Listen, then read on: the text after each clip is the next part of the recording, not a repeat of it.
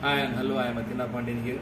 In this video, I am going to give some of the few important things about uh, uh, the biomedical engineering job. Particularly, most of them says, uh, most of the members says, uh, uh, what are the skills required for the biomedical engineers and what are the skills required to get a job, all those things.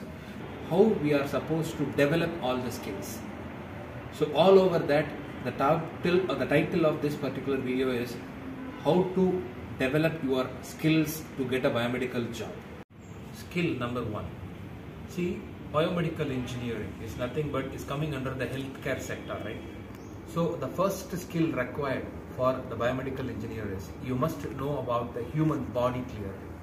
So the knowledge about the skills about the human body, diseases, disorders, and what are all the symptoms and what are all the rectifications. All these kind of the things as a biomedical engineer you should know. That is the first skill is know about the human body very well. Number two is nothing but as a biomedical engineer, you must be developed a knowledge about along with the human organs and the human accessories of human organs. You must know about the vital signs of the human body. That is normal and abnormal values of your vital parameters in the way of vital signals or vital imaging, whatever it is. For example, you must know about the normal and abnormal value of your blood pressure. Like that, there are so many numerical values are there. So all the numerical values that determining your vital parameters, you should know about it. That is the second skill actually a biomedical engineer should require. So the skill number three is nothing but as a biomedical engineer, you must know about the organs, you must know about the vital parameters, and along with that, you must know about the basic instruments. The basic instruments is nothing but many of them trying to know about the radiology. Many of them trying to know about the X-ray, CT. These are all the, not only the things for biomedical engineering. All these major equipments you must be learned through the minor equipment. That is the basic equipments. In the basic equipment, through the basic equipments also, you must develop your instrumentation skills, how to deal the instruments, how to get a knowledge on the instruments. All these things you can able to get through this particular skill. So skill number three is learn or try to improve your skills on instrumentation part. Skill number four is nothing but you must develop your skill to how to open the devices, whether it may be a television or whether it may be a radio or whatever it is in your home. Try to open the device, how to open the device, how to screw it, and how to open the device. All these kind of the skills as a biomedical engineer you must be developed. It not only through the medical equipments you are supposed to open the practice to open the device. For the small small equipment also, for the small small devices, home appliance devices also, try to use some of the screwdrivers and try to open the device and try to learn.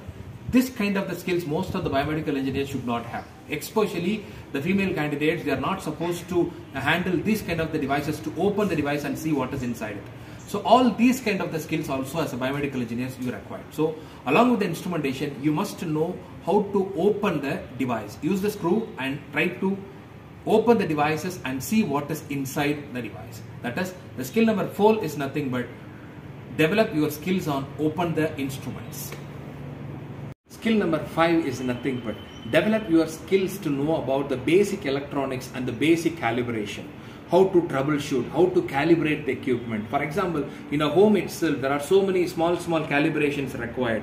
Uh, the bulb is fused, and some of the uh, televisions and some of the refrigerator make some of the small uh, shoot required. All these kind of the things try to involve and rectify that particular issues. Make some curiosity to deal all these instruments, to shoot the trouble and how to calibrate learning. So these kind of the things make the curiosity to open the medical devices and try to shoot the trouble and calibrate it. So the four, skill number five is nothing but improve your skills on basic electronics and basic calibration requirement.